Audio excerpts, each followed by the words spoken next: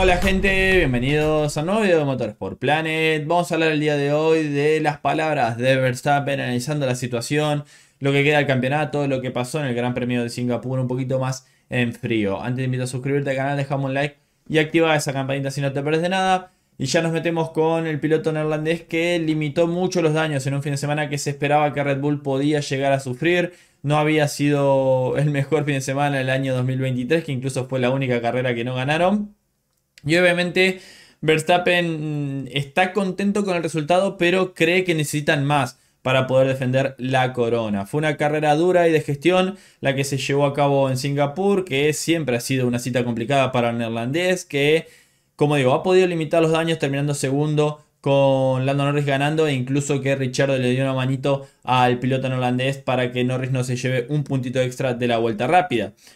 La distancia es de 52 puntos, como digo, podría haber sido de 51 hasta que Daniel Ricciardo paró en la última, faltando dos vueltas para en la última vuelta hacer la vuelta rápida, algo que obviamente Verstappen agradeció, aunque sabe que la situación tiene que cambiar cuanto antes. Un dato clave es que con esta vuelta rápida de Ricciardo, si Verstappen termina segundo en todas las carreras que quedan y en todas las sprints que quedan, por más que Norris gane todas las carreras con la vuelta rápida, Verstappen sería campeón, así que ese puntito puede ser clave a final de temporada. Si logra ganar el título por un punto, realmente va a ser clave lo de Daniel. Pero también va a ser muy difícil, creo yo, lograr segundo puesto en todas las carreras. También va a ser muy difícil que Lando Norris gane todas las carreras con la vuelta rápida. Pero sabemos que eh, el equipo McLaren tiene a Oscar Piastri que también está siempre peleando ahí. Depende del circuito, está peleando ahí arriba. En este circuito no desafió a Verstappen porque clasificó mal. Pero si clasificaba un poquito más adelante hubiera sido complicado que Verstappen logre esa segunda posición. Así que realmente tienen que dar la vuelta, es lo que dijo Verstappen, tienen que revertir este comportamiento que está teniendo el R20 que sacó un poquito la cabeza del agua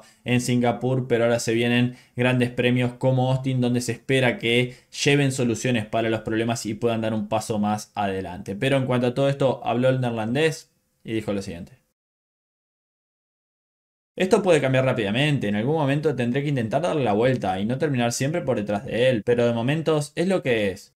He estado solo toda la carrera, he intentado hacerlo lo mejor posible, he intentado gestionar mi ritmo, la primera tanda ha sido muy difícil para nosotros porque tenía mucha degradación y la segunda ha sido un poco mejor, me he sentido un poco más cómodo con el coche.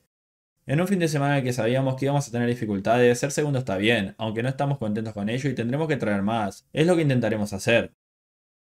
Bien, palabras de Max Verstappen, como dice, hay que dar la vuelta, no podemos ir perdiendo puntos todas las carreras, porque en una que fallemos, que realmente eh, tengamos muchos problemas o que no sumemos, prácticamente esa diferencia de 52 puntos eh, se queda a la mitad reducida si no gana y ahí realmente va a estar muy complicado. Quedan prácticamente 180 puntos en juego, entonces eso es mucho, mucho que eh, a una diferencia de 52 puntos, si bien no es algo fácil de descontar, pero viendo la diferencia de rendimiento de los autos, como digo, por ahí depende también mucho de Lando Norris, porque si Lando Norris rinde de la manera que rindió en Singapur y el McLaren rinde de la manera que rindió en Singapur, realmente están ante la posibilidad de descontar muchísimos puntos. Obviamente sabemos que a veces Norris llega a un circuito y parece Senna y a veces llega a un circuito y eh, parece Norris. Eh, la verdad es que eh, la irregularidad, me refiero a esto, ¿no? Con este ejemplo, la irregularidad que también lo ha demostrado Piastri. Por ejemplo, en Bakú se invirtió. En Bakú, Piastri estuvo eh, intocable, está bien, no tuvo la referencia de clasificación con su compañero de equipo. Y acá estuvo un poquito desaparecido. Bueno, habla un poquito de esa irregularidad que tiene el equipo McLaren con sus pilotos. Y es lo que por ahí deja un poquito de dudas de cara a eh, el devenir o a cómo resulte esta temporada, ¿no? Verstappen obviamente está en modo límites de daños hasta final de temporada. Eh, subió al podio, que es algo muy bueno, que hacía rato no lo lograba Verstappen y la idea de él también es seguir por esa racha. Yo no creo que logre segundo puesto en todas las carreras. Hay circuitos que le van a venir por ahí un poquito mejor a Red Bull, por ahí un poquito peor. Y hay que ver cómo resultan, obviamente, las actualizaciones del RB20 en el Gran Premio de Austin, que ahora tienen tres semanas, prácticamente un parón más de verano para trabajar de la mejor manera y terminar de solucionar estos problemas que dieron un paso adelante en el Gran Premio de Singapur. Las curvas de baja velocidad le vinieron bien al RB20, cosa que habíamos analizado que por ahí con la data que teníamos de Azerbaiyán podía llegar bien el RB20. Bueno, eso se cumplió y ahora veremos ya si pueden realmente em, dar un pasito más adelante en un circuito como Austin, que es un circuito que también es bastante bacheado. Eh, realmente el McLaren, la diferencia con el RB20 era cómo tomaba los pianos. Bueno, era una diferencia abismal y es lo que sabemos que es el punto débil del monoplaza del equipo de Milton Keynes.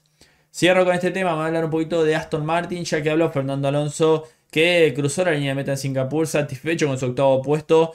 Maximizó sus opciones, acabó por delante de Haas, por delante de Williams, así que se va este mini parón antes de Austin con un buen sabor de boca, pero avisa que estos resultados de Azerbaiyán y de Singapur no pueden tapar los problemas que tiene el AMR24 y que son muy dependientes de los circuitos. A ver, de que fueron circuitos muy difíciles de adelantar. A ver, dice, agarramos los puntos de Bakú y Singapur y nos los llevamos. Son dos circuitos urbanos donde hemos hecho una buena crono y eso es lo que nos ha posibilitado la, chance de poder sumar puntos, es lo que dijo Fernando Alonso.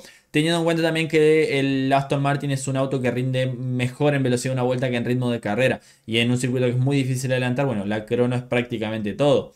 El bicampeón se mostró bastante autocrítico, sabe que eh, más que esto no iban a conseguir y que incluso realmente el rendimiento que tenía el auto era prácticamente imposible, tenía que hacer toda la perfección y lo hicieron, incluso tomando decisiones correctas, pero que deben tratar para intentar darle vuelta a la situación y recuperar esa posición de quinto equipo que al parecer hoy está Williams ahí prácticamente, si no tuvo una carrera buena en Singapur o se complicaron sobre todo en clasificación donde estaban para meterse a quali 3, Williams ha dado un paso adelante, incluso Haas también y Aston Martin ha caído por detrás de estos dos equipos, da la sensación.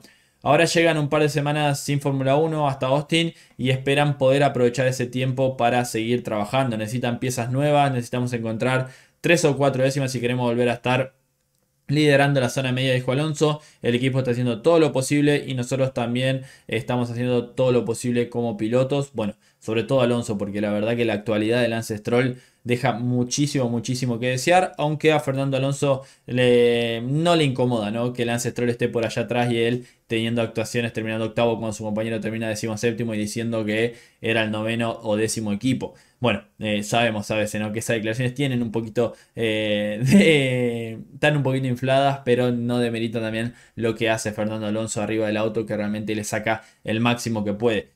El auto no está. Trabajo por hacer para Aston Martin. A seguir metiéndole. Como digo, cuentan con un Fernando Alonso que siempre le saca un extra. Pero hay que ver qué piezas nuevas van a traer. Si pueden dar un pasito adelante o no. También pensando en el auto de la temporada 2025. También el hecho de que, eh, bueno, ya están también muy enfocados en 2026. Hay que ver cómo toma la temporada 2025. Fernando Alonso debe estar, bueno, seguro al 100% de que si sacrifican la temporada que viene y tiene que sufrir como está sufriendo la temporada, no tiene problemas si en el 2026 eh, le dan el auto que realmente espera con la llegada de la Newbie. Así que eh, eso de traer piezas nuevas, también Aston Martin está teniendo mucho problema de correlación y a ver si realmente las piezas nuevas dan un paso adelante. Cierro por acá con este video, dejame un comentario qué opinas. Suscríbete al canal, deja me gusta y nos vemos en el próximo video de Motorsport Planet. Adiós.